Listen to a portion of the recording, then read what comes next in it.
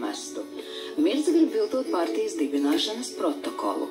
Edijs pārdzīvo, ka Ieva ir kopā ar viesturu.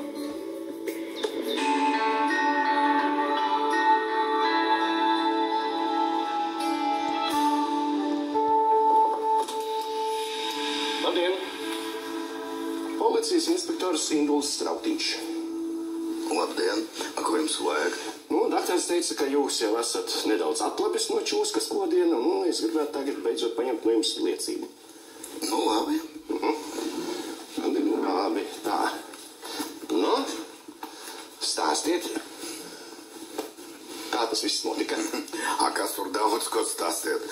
Man iekoda Indika Čuska visu. Jā, un kur jūs tajā brīdī atradāties? Viena numura Petersona viesnesa Mm, man ir informācija, ka šai numurā parasti uzturās Dāna Āboliņa. Ko jūs tad darījāt? Ai, jums vēl daudz tie jautājumi. Man nav labi. Nu, redzat? Nē, vienkārši man interesē, eh, ka jūs kā precēts cilvēks, ko jūs darījāt svešas sievietes numurā? Sami вы не соображаете. А, es esmu šķīries no savas sievas.